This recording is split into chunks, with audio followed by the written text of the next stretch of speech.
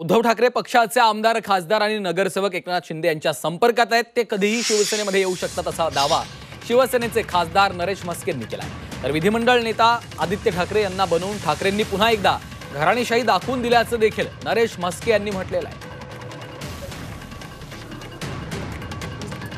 आपल्याबरोबर नरेश मस्के आहेत शिवसेना नेते. सर मुख्यमंत्री हे एकनाथ शिंदेच झाले पाहिजे असे तुमच्या अनेक नेते मंडळी बोलत आहेत कसं बघता ह्याकडे? आणि दुसरी गोष्टमध्ये असंही एक बातमी समोर येते रिझल्ट लागल्यानंतर अनेक आमदार खास करून ठाकरे गटाचे हे तुमच्या संपर्कात आहेत.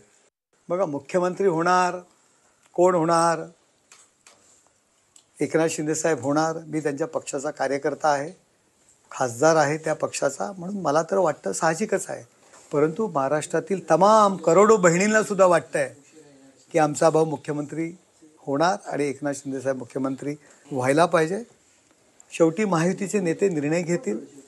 पण तुम्हाला मी आज या ठिकाणी सांगतोय की यू बी टीचे अनेक आमदार आणि काही खासदार आमच्या संपर्कात आहेत. एकनाथ शिंदेसाहेबांच्या संपर्कात आहेत. आणि यू बी टी सोडण्याच्या प्रतीक्षेत ते आहेत. याचंच उत्तर तुम्हाला आज मिळालं असेल. की विधिमंडळ गटनेतेपदी आदित्य ठाकरे यांची निवड केलेली आहे.